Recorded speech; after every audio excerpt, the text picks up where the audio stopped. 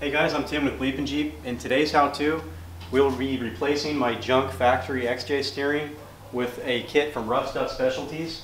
This is a Y-Link kit. It uses GM one-ton rod ends and one and a half inch OD quarter inch wall DOM tubing. This stuff is absolutely stout and I can't wait to get it on my Jeep. So the factory steering we have here is all going to be replaced with that kit. The rod ends are extremely flimsy. This tie rod is almost the same size as my index finger. It's just not quite suitable for uh, taking abuse off-road, but the kit from RuffStuff will certainly take care of that. What I'm thinking of doing is I'm going to try to run the steering kit on top of my knuckle on both sides instead of the bottom. And some issues I see here, we may have clearance problems with the uh, sway bar mounts right here. Uh, those might have to be cut off, we'll see.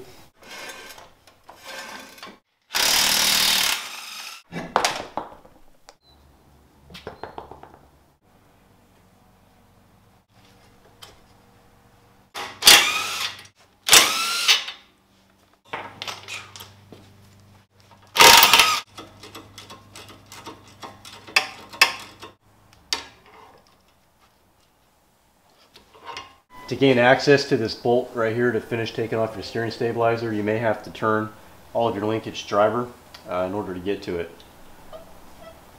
As you can see now we have easy access to that bolt.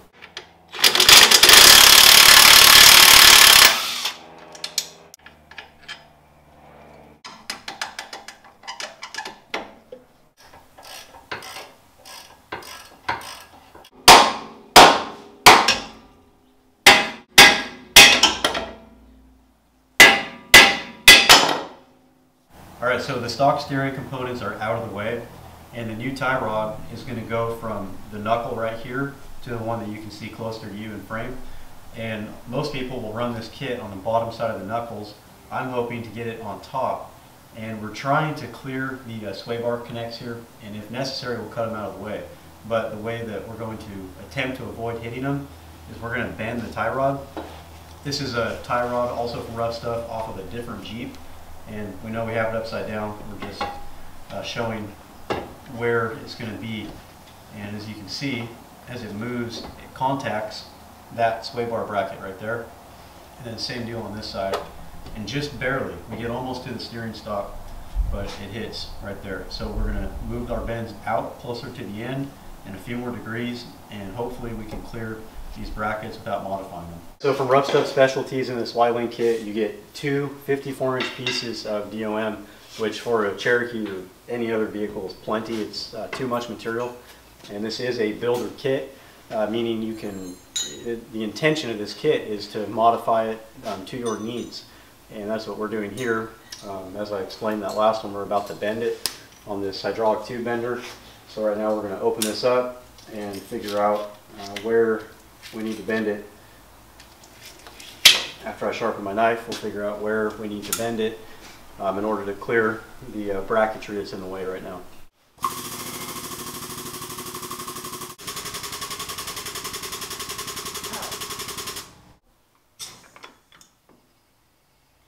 Okay, so we bent our tie rod. Um, in this particular case, we bent each side about 12 degrees plus spring back, so it's probably more like 10. We haven't actually checked it. We just knew that we needed to bend it a little more than this one um, in order to get it to fit. So based on your circumstances and axle uh, selection, your mileage may vary. Um, right now we're just holding this up and mocking it, making sure that it looks like everything's going to clear, and right now it does. So we're going to proceed to trim the ends off of this, weld our bungs in, and then attach our rod ends. The next thing you're going to want to do is ream your knuckles out. There's two different ways to do this. One way is to use a specific reamer with a GM taper to bore your hole that's shaped like this. Another option, which is what I'm doing here today, is to use a 7 8 a non-tapered reamer. This, this reamer does have a taper to it, but at the end it's 7 8 all the way through, which is going to give us a straight hole. And then RuffStuff sells these sleeves that don't have any taper on the OD, but the inside has that specific GM taper milled into it. And then we just need to drop that into our hole and our um, tie rod end will fit perfectly.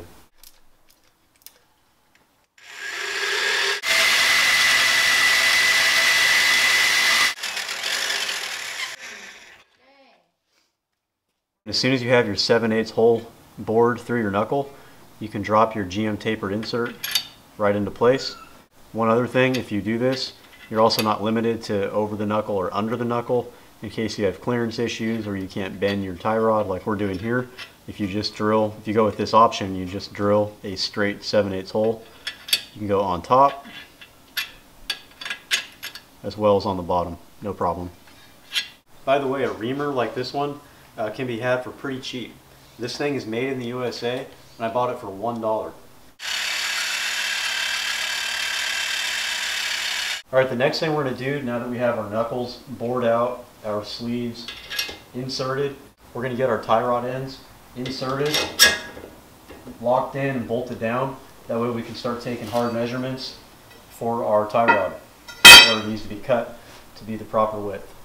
All right, so once you get your tie rod end in place, the first thing you're going to put on is a jam nut. The driver's side is a right hand thread, the passenger side is a left hand thread.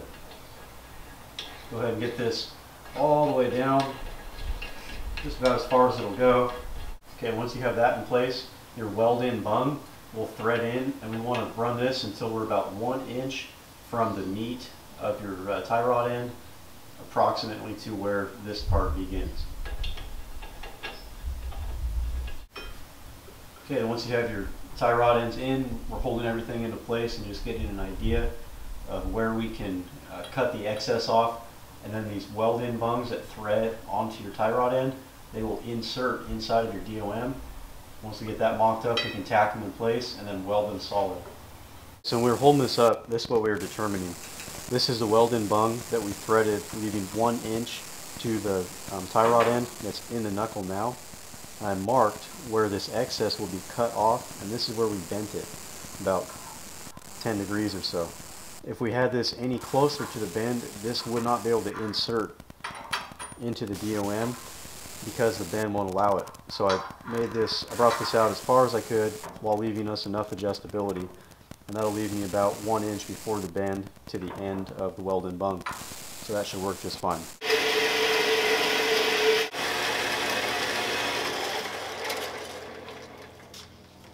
Okay, so we've got both sides cut now. We're inserting it into our weld bungs. God willing. Oh yeah. And we'll do the same over here. Perfect something like that. And then we can get this situated and check our clearances. Make sure we're not hitting anything. We might have to rock it back and forth a little bit. We are contacting the bolt over here just a hair for the steering stabilizer. We kind of anticipated that, so if we just rock the tie rod down, and because of these bends that we put in it, uh, we should be able to clear it just fine. With these weld-in bungs, it's a good idea to situate them uh, flat don't cut your hand open like I just did situate them flat like this because when you do your toe adjustment, it's a lot easier to get a wrench on here if you're not fighting the angle. Also, when you take this off to weld it on the table, you'll be able to keep your entire piece flat if you tack these in position nice and even. Yeah, so we had to bend our tie rod at two spots here to gain us a little bit more clearance around some of the components on the axle. If we had a straight tie rod, or had we done this under knuckle, allowing a straight tie rod, our toe adjustments would be very simple just by traditionally spinning your tie rod. Um, that's, that's the normal way that you adjust your toe. You can use a uh, pipe wrench on here. Um, in this case, to get toe adjustments, we'll actually have to take one rod out of the knuckle and spin the whole tie rod end in and out to get that toe set right. Not that big of a deal. Uh, it's just a trade-off that we had to choose uh, due to this particular setup. Once you have your nut off, true to form, my pitman arm is ridiculously stuck on there. These little pullers, um, they can be had from Harbor Freight. I'd recommend a, a, higher quality retailer. Also, you can rent these from a lot of parts stores. And then you just tighten this puppy down. Once you get yeah, a ton of pressure on this thing, take a BFG, you start whacking that pitman arm and it breaks it loose and the whole thing starts dropping down.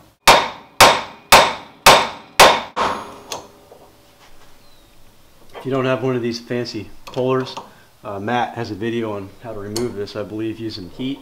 I think he uses a torch and heats the whole thing up and pries it off. So check that out. RuffStuff has a few different options to use sleeves. They make an insert sleeve with a taper similar to that that we used in the knuckles uh, that requires you to drill your pitman arm out to one inch.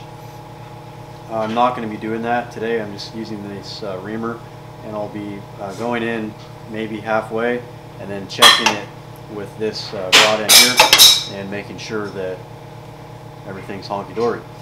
Alright, let's get to it.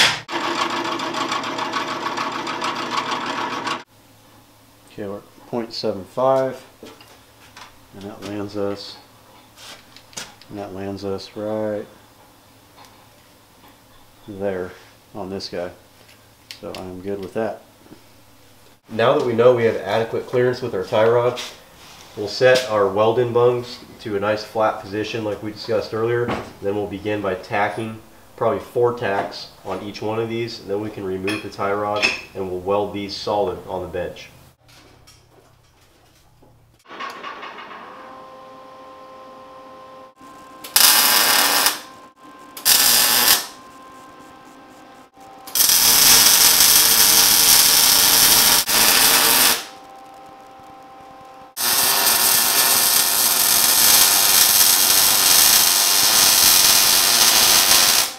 Once you have your weld bungs in place and welded, I uh, cool them down real quick with a faucet.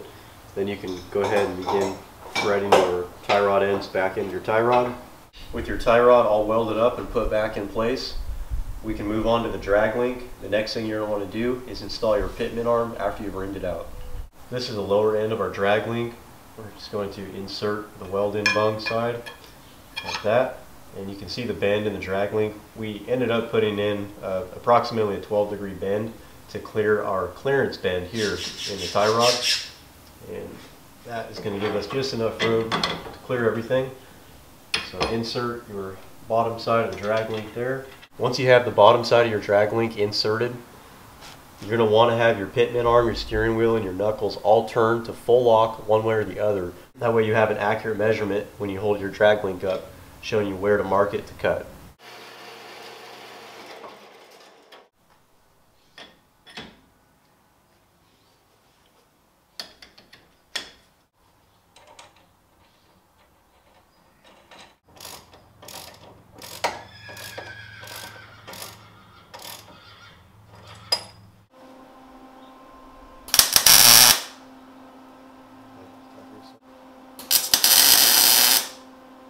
All we have cut our drag link. Everything fits. We've steered everything lock to lock, and we have very minimal clearances right here.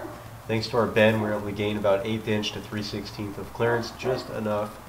And now we're ready to take our drag link off, weld it solid on the bench, and reinstall everything. Then we can begin setting our toe, which is the alignment.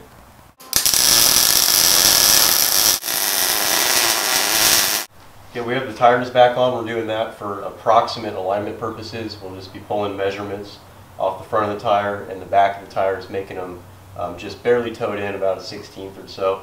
Uh, Matt has a good video on do-it-yourself alignment, so if you aren't familiar with that, check that video out. Right now I'm just installing the boot on the uh, tie rod end of the drag link here. We'll get this in place, and then we'll go from there. Now that the drag link is welded up, we're ready to install it.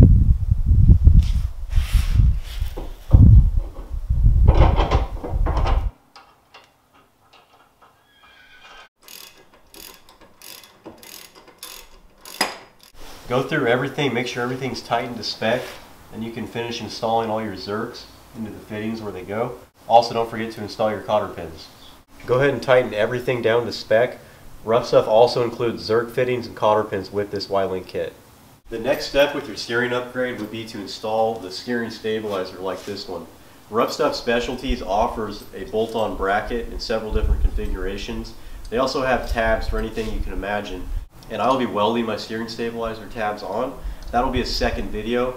In that video we'll also cover how to measure the throw of your stabilizer which will dictate where your tabs will be welded to your steering component. Now keep in mind this Y-Link kit from RuffStuff is a builder's kit, meaning you can configure it and modify it to fit your needs. If you're doing an under the knuckle installation, it's going to be way more straightforward than what we went through here. You won't have to bend anything in most cases. All your components will be straight. I chose to go over the knuckle, which will raise everything up a little bit higher, but because of that, we had a lot more variables to deal with. Alright guys, be sure to check out the links in the description to that kit from RuffStuff Specialties as well as BleepinJeep. And if you aren't already a subscriber, we would really appreciate it if you subscribe and thumbs up our videos. It helps us a lot. Also, a huge thanks goes out to RuffStuff Specialties as well as my friends from Rock and Road Performance for letting me use their facility. Thanks guys, and we'll see you in the next video.